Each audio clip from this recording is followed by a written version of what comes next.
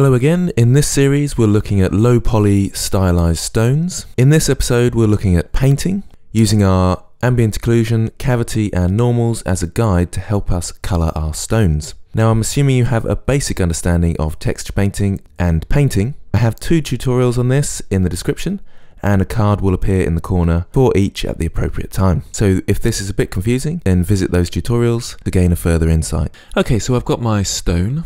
Here's the low poly version, and here's the baked details. So there's the ambient occlusion, the cavity, and the normals. And I've already started hooking them up, so if I go to rendered mode, you'll see that I've hooked the normals up. Let's just maximize the screen with shift spacebar. And you can see I brought the stone normals in, and that's set to non-color data, into a normal map, into the normals of the principled shader. So I changed my shader to the principled shader. Someone gave me a great shortcut for this. You can click on the shaders and press shift S, and that way you can change its attributes rather than having to delete it and then add the principled shader, you can just change the shader with Shift S. I've also got my stone ambient occlusion, which I need to change to non-color data, and stone cavity. So let's go back into our normal view with Shift Z again. I'm just going to bring this up like this, zoom out a bit so we can see the node editor a bit closer. So I'm going to add a mix node with color, mix RGB. So I'm going to combine two colors and I'm going to put my ambient occlusion in the bottom and the color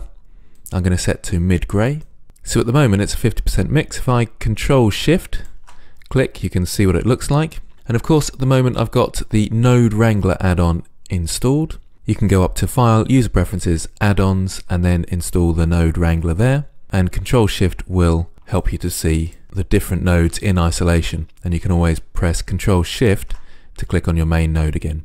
So for now, let's look at our mix color. It's just a mix at the moment, so I'm getting 50% of the ambient occlusion and 50% of gray. If I put it all the way up to one, then that's all the ambient occlusion, and all the way down, it's all the gray. And you can see how difficult this would be to paint on without this information from the normals, cavity, or ambient occlusion to guide us. So what I'm going to do is change this to multiply. There's no effect at the moment, but when I introduce the other one now, it just affects this and it multiplies the color out. So it brings out the darkness.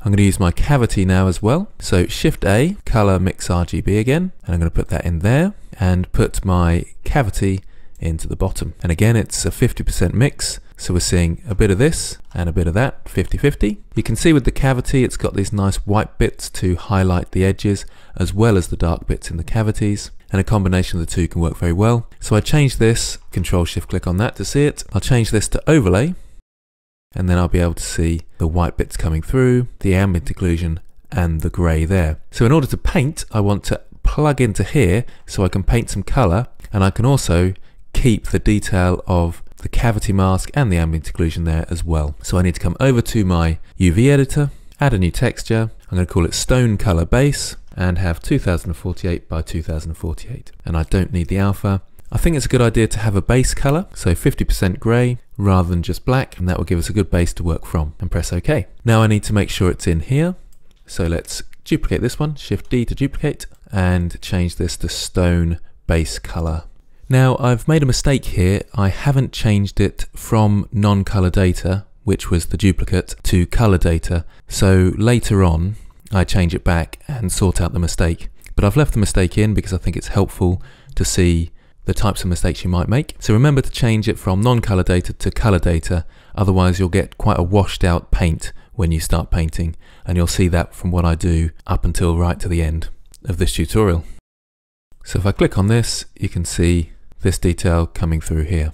And if I hook this up to my multiply node, we should just have a base gray coming all the way through, and it should look pretty much the same as it did before. And something I didn't mention before is that in my scene, I've got four lights. I just used sun lamps and pointed them all in different directions so I can light the object fairly evenly and also I can move them around if I want to just check the shading and things. So they're all just a basic sun lamp with the, an emission of one.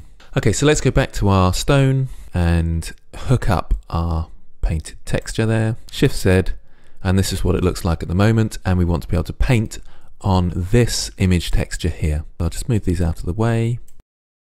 So let's go across to paint mode. And I'm still in rendered view, I need to be in material, otherwise it will struggle to keep up whilst I'm painting. And material rather than texture. Texture will only show you the texture selected, whereas material will show you your full texture from the material output. Then you can use the normal map and so forth as a guide. And I must have the image texture that I want to paint to selected here. Let's just pull this down for now and let's just test it by putting all the way to white and painting. And that's working as you can see there. Got a bit of pink in there for some reason. So I'll undo that. I know it's working because I've got my stone color base here and it was painting on there and I've got it selected here. And I've got it hooked up so I can see the effects and I can see the normal maps and cavity and ambient occlusion in here as well to guide me. So at this stage I can maximize this screen with shift spacebar and start painting. Now there's lots of different styles you might want to go for. I'm just going to go very basic and make it look roughly stone-like.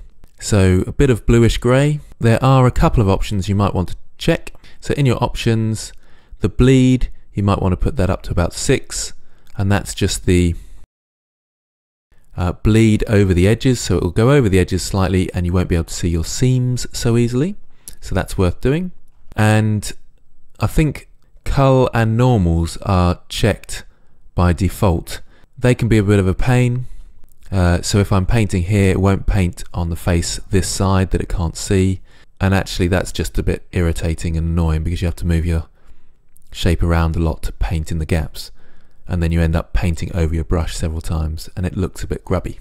Leave occlude on because that will stop you painting all the way through the shape and onto the other side. So back to our tools and let's start painting this on. That's a nice bright colour there. And just randomly painting colours, so I'll put some yellow in there as well, just blotch it on in areas, and I'm just randomly painting areas to make it look stone-like. I might want to aid the ambient occlusion maps a bit, so maybe scale this down, a bit of darker color and just pull these dents out a bit more, give them a bit more depth. I might also want to highlight the edges just that touch more as well, so make it nice and bright. And this will come down to artistic ability and experience to a degree. But just slowly build up And because we've already got our ambient occlusion and our cavity mask, we've already got a very good base to start with. So we can just color this in and have a bit of fun. You can really experiment a great deal with the colors if you want sort of mixture of colored rocks. And every now and again you might want to go across to rendered view to see what it looks like. So it's just lightly shaded at the moment. Now it looks like I've got a slight issue with my normal map there.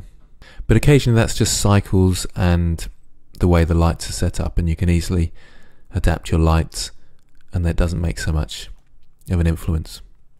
Now you might want to go for heavily stylized rocks.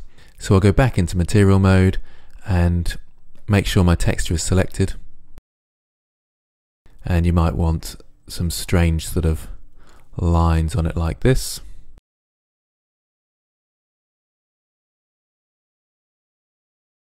So some really unusual stylized rocks like this, and you can use the smear brush to sort of smear them together, but this can be quite processor intensive and it can really sort of slow down your brush. If you do get any glitches like this as well, the smear brush is very useful for smearing them out. So some interesting sort of stylized rocks like that. I don't think it really works for this particular stone, so I'm not going to do that, but just sort of the things you can do. So I'm undoing those.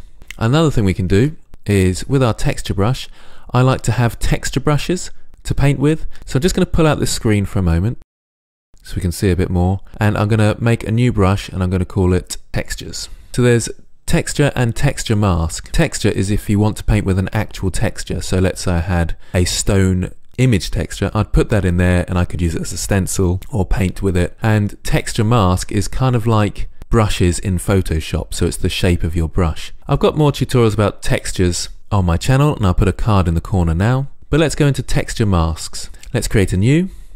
And when you create a new brush, you come over to the textures over here and change it to brush mask texture. You name it over here, it's a little bit easier to see, but at the moment it's just brush mask texture and let's open a brush.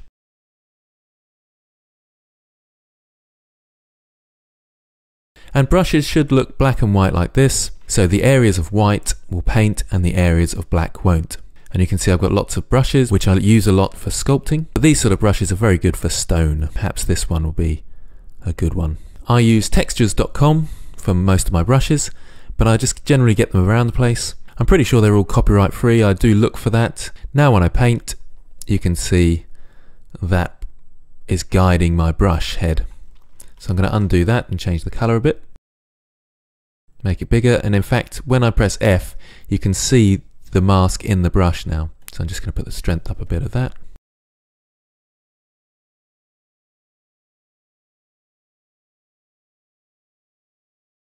What you do have to watch out for a bit is this sort of stretching. That's if I've painted up here and it slides down the side and stretches across there. That's a bit frustrating and you can use the smear brush to get rid of that. As you can see it working there.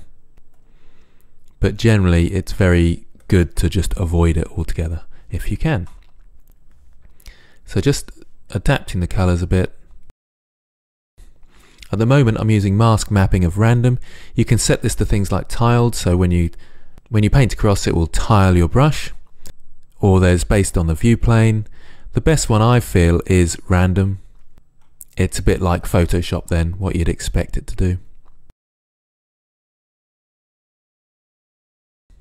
I'm still getting this slight glitch here and again the best way to deal with those is the smear brush. I haven't found many ways of coping with that and it seems to work sometimes on some brushes and not on others. So I get the smear brush and I can smear those glitches out. I don't find that so bad in Blender Render, Blender Internal when I'm painting in there, so that sometimes is a better option. The more seams you have, the worse it is, so if I had unwrapped this a bit better, then that might solve the problem as well.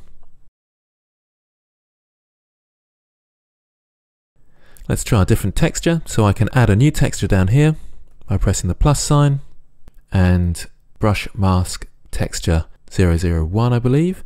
I'll just check that by pulling this out. Texture 001, so it's brush mask texture 001, which I've got it on here. Let's open up another brush.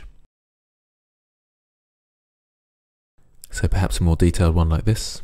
And I'm going to have to turn the strength right up because it's not particularly detailed on this. This might be good for filling out the areas where I need a bit extra shading. I think subtlety is the key. I went a bit overboard there, so I've pulled it back slightly. So I'm just varying the colours that little bit and painting in. You can see a fair glitch in my normal map here. I don't think that'll be noticeable too much when I'm fully rendered and zoomed out that touch. So from about here it's not too bad. But what you can do is colour that in quite dark to help the normal map.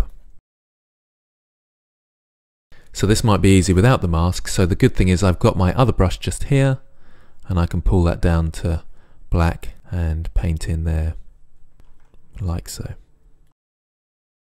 Back to my texture brush. I'm not sure I like this one so much, so I'll try a different one. What you can put in here as well, if I press uh, new, you can create your own brushes by coming over here and going to, let's say, clouds. And there now I've got a cloudy brush and you can see it if I press F you can see what that looks like.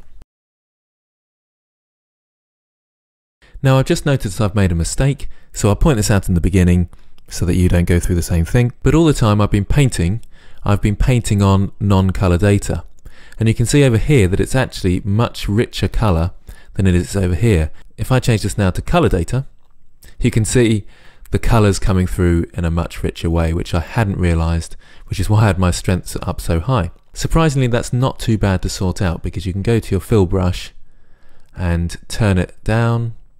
And let's go for a mid gray again. So all these should be around 0.5.